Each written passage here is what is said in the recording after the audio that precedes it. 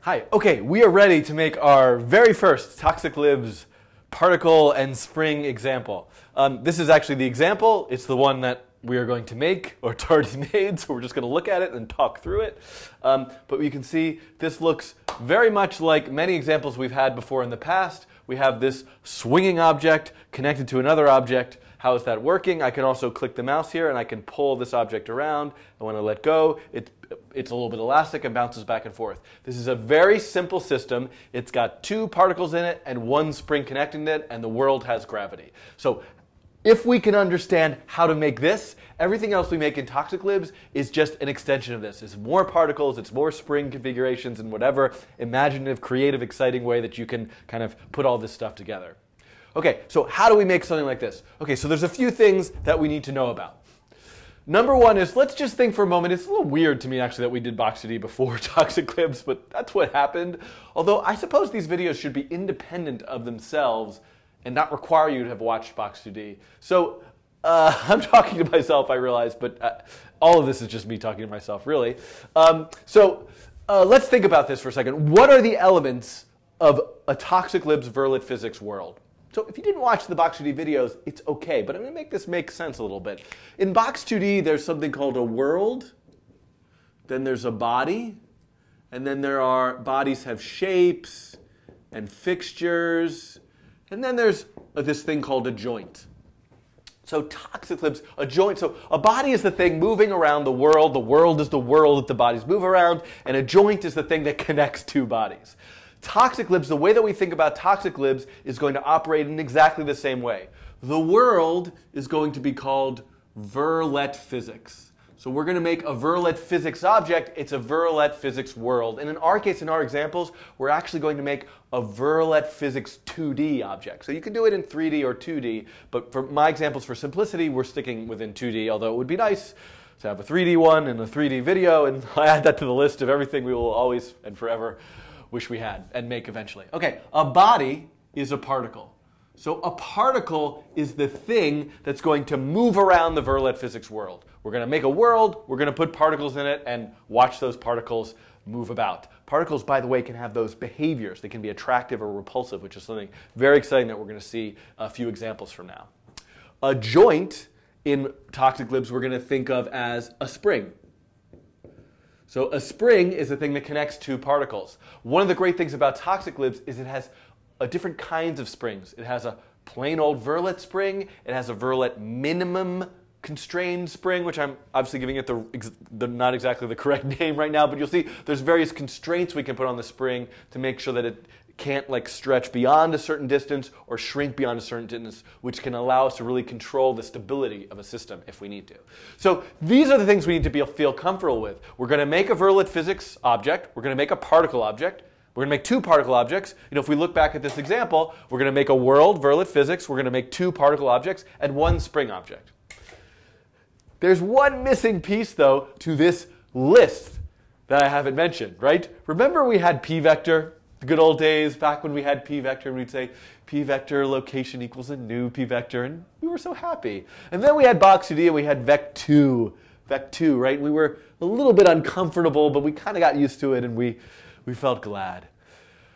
Now we have vec2d and vec3d. So yet again, another set of vector objects vector classes to work with in, in toxic libs. But we should be rejoicing again because one of the nice things about the vector classes in toxic libs is that they are more advanced than the vector classes in processing. There are many more functions. They're a bit more sophisticated to use and thus perhaps not as, um, not as easy to use, but there's a lot of power there, especially when the vectors are separated out, you know, whether using a 2D vector or a 3D vector, perhaps it's not as simple to like kind of why. I think I'm like trying to justify why p vector in my mind is the way made the way that it is. But um, I think these are wonderful um, vector classes that uh, we're going to use with toxic libs. I, I, mean, I love vector classes. We can't can't have enough of them. Somebody make one called G vector, S vector, I don't know, whatever. Okay, so this is the picture. This is what we've got. Now, we have another thing to discuss. This is, this is the really exciting part. We haven't even gotten to five minutes yet, so I feel like we're totally on pace here. now that we know the elements of the world, how do we actually make these elements in the world? Okay, so back again, if you remember back to the, the olden days, we wrote something called class mover. And in the mover itself, we had three p vectors location, velocity, acceleration. We wrote that update method ourselves, which had Euler integration. Blah, blah, blah. I'm sort of half writing here, right? This is what we did all on our own. This was our mover class. We were very proud of it. We're still going to use it. You're going to use it. We're going to love it and take care of it. Um, this is what we made. Then we got to this place where we said, ha, oh, camera went off. Hello again. We got to this place.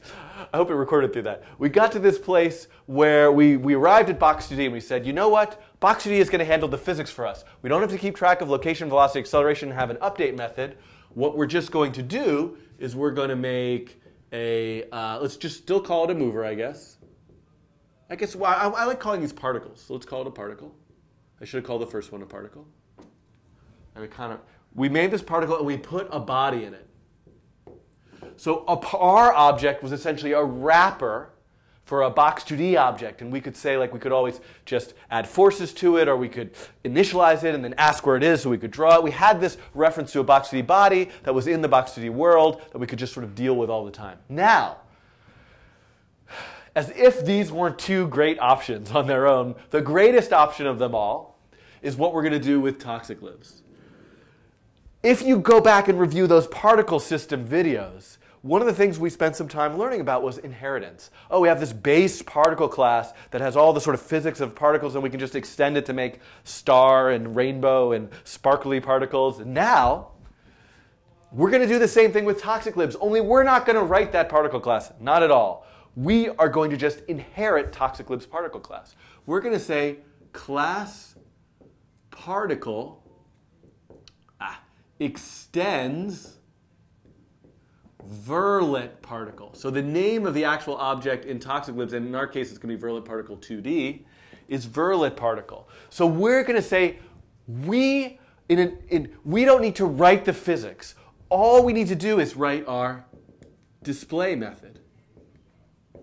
And our display method might draw a circle at the xy where that particle is. This is a really fantastic way of working. We're getting all of the methods. Our particle is a Verlet particle. It has, it has the ability to have attraction and repulsion forces. It has the ability to be part of a spring. It has ability, it, it, it knows how to update itself for the, in the physics world when the physics world gets updated. Everything is controlled by toxic libs, but we can just write our own, we can interject our own design here. Or we could add variables. We could add a color variable to it if we wanted to keep track of its color or other variables to it if we wanted to. And we can, um, uh, we can apply forces to it. We can do all sorts of things to it. So these are really the three methods we've now covered in this course or set of videos or book or whatever you want to call it. It's writing everything from scratch on our own.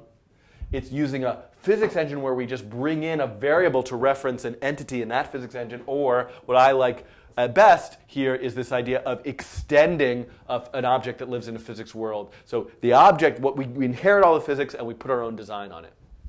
Now, there's something kind of funny going on here that I would like to point out, which I think is even more exciting than just this, what we've done here, just alone. So one of the things that's super interesting about this is, okay, so where's the objects? Here we had this p vector location. So shouldn't maybe particle Verlet particle have a vec2d, right? If vec2d is the object in toxic libs, it should have a vec2d position, not a, uh, um, right? And we should be saying ellipse at position.x, position.y. But instead, we have x and y. So Verlet particle, we must have inherited just an x and a y. How do we do that? It turns out that Verlet particle itself extends vec2d, right? A vector is a, can be a location on the screen. A particle can be a location on the screen with all this added functionality. And then our particle is our own design on top of that. So not only does our particle extend Verlet particle 2D, it has all of the vector functions built into it right there. So this is a really tremendous way of working, and I think a very smart way of designing a physics engine. And in many sense, we might have wanted to do that with our mover. Class mover extends p vector. But you know, I think that would have been a very difficult way to just start right from the beginning. Like it was much simpler to kind of start to learn by putting p vectors in our code rather than have our mover be a p vector also suddenly additionally with velocity and acceleration. But that is something to, that is very important to realize when working with toxic libs. Your particle not only inherits from Verlet particle 2D, it also inherits from vect, vect2, vect2D. Okay, so now that we've kind of gotten that out of the way, let's take a look at where this appears in the actual code example. And I have a feeling I might have to fix this camera. Yes. Okay. Uh, sing like, I don't know, um, you say it's your birthday. I don't know what. Uh, that, that's the song I thought of. Oh my God. Okay, so let's take a look at this example. First, let's point out the beauty of this. Look at the beauty of this. experience it, right? This is our particle class. It extends Verlet particle 2D. It has no code and it has no location, velocity, acceleration, no update, no physics, no this, no that. All it has is our display function. So if you are the kind of person who wants your physics taken care of for you, but you want to really control the intricacies of how you're drawing stuff on the screen, this is a fantastic way to work. Um, you can really just work on adding a display method to the particle which extends Verlet particle 2D. So now if we look into the main program, we can see a few things here. One is, here's our world, for Verlet Physics 2D physics. That's the world we need to set up. We have two particle objects. Those are our particle objects, but they extend Verlet particle 2D. And a couple things I should point out. This is a little bit of an odd line of code, which will make sense a bit more to us later when we look at behaviors. But the world has a gravity behavior in it, meaning um, you know, gravity doesn't just exist out of nowhere, but one of the things we can add to our Verlet physics world is a, a, a, kind of global force that points in a given direction. In this case, we have that force point down so that it looks like, you know, kind of 2D gravity on the screen. Um, we can also set the boundaries of a world, which makes objects not able to go beyond those boundaries. You can pick or choose whether you want that. And then here we are making two particles, one at one location and one at the other. And if... Uh, if I take out the gravity, by the way, and run it, you will see, look, I made two particles, one here and one there. One at width divided by 2, comma 20, one at width divided by 2 plus 160, comma 20. So there we go. Now, a spring. Oh, I thought we were like, we kind of covered everything here. But let's, let's take a moment to talk about what a spring is. So, a spring in toxic libs is a very simple thing to make. And the way that we make a spring is by saying new Verlet spring, and in this case it's going to be 2D, and we have to put four things here. We have to put four things here. So, what is a spring? One thing we need is particle number one. Another thing we need is particle number two. So, a spring has to connect two particle objects. So, we pass in those references as the first two rep, as the first two arguments to creating a spring. So we make a spring, we say spring between particle 1 and a spring between particle 2.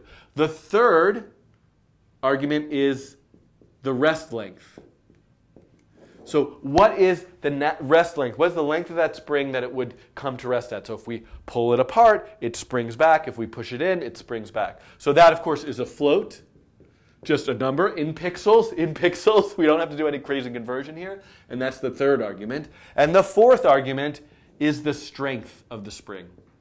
And you can think of that as a number between 0 and 1. I really should have thought of this before I began this video, but I'm pretty sure if you make that number 1, it's going to be completely rigid. So you, you, ba you basically can't uh, it doesn't have any elasticity to it. And if you make it zero, it's going to be kind of like almost like gum that you could imagine that you're like pulling and it just kind of keeps pulling forever and ever and doesn't really have the strength to power to, to kind of spring back. So, you know, you can kind of only do so much to describe these variables. The best way, as we've seen, is just try a lot of different values and see how your system behaves. But generally, the strength um, is a number between zero and one. And someday when I realize that's not correct, I'll, I will fix this video. Okay, so these are the arguments that we need to create the spring. And now if we go back and look at this, we can see that's exactly what's happening here. We make a new Verlet spring 2D. We have two particles, 160 and 0.01. So we have kind of not such a strong spring. So let's, let's actually just try messing with that value a little bit. We can see um, here I can kind of pull it and it's kind of springy.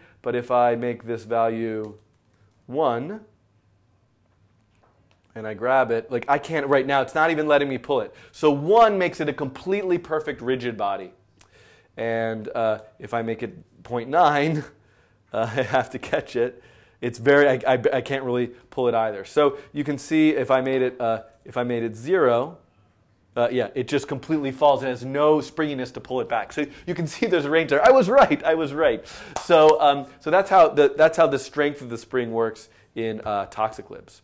Um, one thing that I should, there's two other things I should point out about this particular example. Number one is whenever you make these things, you need to make sure you add them to the physics world. So you can make particle objects, you can make spring objects. If you don't tell toxic libs they're part of the physics world, they won't respond to the physics. So you can see here we're adding each particle to the physics world and we're adding each spring to the physics world as we create them. Another thing that's important to realize is that there's a lock function. So you can lock a particle in place so that it can never ever move. And that's what's happening here with particle number one. Particle number one is locked. If I were to comment out this line of code and run it again, they just fall because they, it's not locked in place and they're both responding to gravity. I can still pick this one up and move it around, and you can see, um, but, but you can see here that they're not, neither are locked. You can lock and unlock things on the fly. That is a very important thing to realize. It's not, in this example, we're just setting it up as either locked or not locked. And the last thing I think that's important to mention about this particular example is that you know, you've got to make sure you have this update method in draw. So this is the equivalent of Boxer's step function, we're only going to update the physics of all of the particles and all of the springs if we call update. And traditionally, we're going to call update once through draw. There might be some strange scenarios where you do it in a different way, but this is kind of the typical way of doing it. Okay, so this is kind of all the bits and pieces of toxic libs. I, what I would say to you, actually, if you're looking for an exercise, is try to just come up with a scenario where you put, I don't know, put all the particles around in a circle and connect them with springs, or put them in a line and connect them with springs, or put them on a grid and connect them with springs, or make 100 random particles with 100 random spring connections. Come up with some arbitrary set of rules that you've designed for yourself to initialize a physics world, and then see what happens with that physics world. In the next two videos, we're going to look at a few examples of that. We're going to look at a string, a, a string of uh, particles connected with springs, a grid, this idea of a force-directed graph. We'll kind of talk through some of these examples, as well as look at how we can add attraction repulsion behaviors to these examples as well. Okay, um, thank you for listening, and I'm going to say goodbye.